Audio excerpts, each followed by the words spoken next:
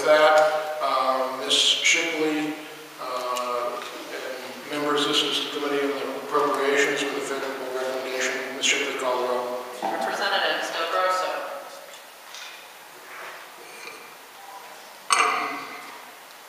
No. Duran. Yes. Kagan. Yes. Lee. Yes.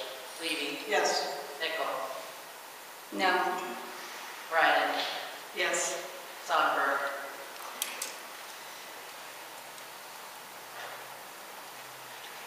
No. Waller.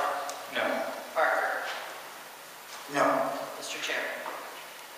No, that uh, motion fails on a five-six vote. So Representative Waller.